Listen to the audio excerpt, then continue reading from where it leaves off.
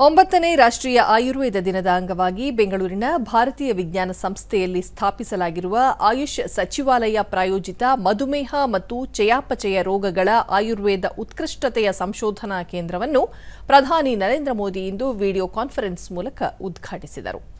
ಕಾರ್ಯಕ್ರಮದ ನೇರ ಪ್ರಸಾರವನ್ನು ವೀಕ್ಷಿಸಿದ ಬಳಿಕ ಕೇಂದ್ರ ಆಯುರ್ವೇದ ಸಂಶೋಧನಾ ಸಂಸ್ಥೆಯ ಮುಖ್ಯಸ್ಥರಾದ ಡಾ ಸುಲೋಚನಾ ಭಟ್ ಮಧುಮೇಹಕ್ಕೆ ಆಯುರ್ವೇದ ಔಷಧಿಗಳ ಬಗ್ಗೆ ಸಂಶೋಧನೆ ನಡೆಸಲಾಗುವುದು.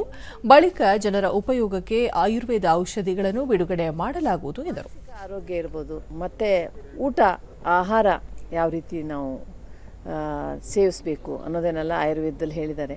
ಹೀಗಾಗಿ ಔಷಧಗಳ ಜೊತೆ ಜೊತೆಗೆ ಆಯುರ್ವೇದದ ಜೀವನ ಶೈಲಿಯನ್ನು ಆಹಾರ ಪದ್ಧತಿಯನ್ನು ಅಳವಡಿಸಿಕೊಳ್ಳೋದು ತುಂಬಾ ಮುಖ್ಯವಾಗಿದೆ.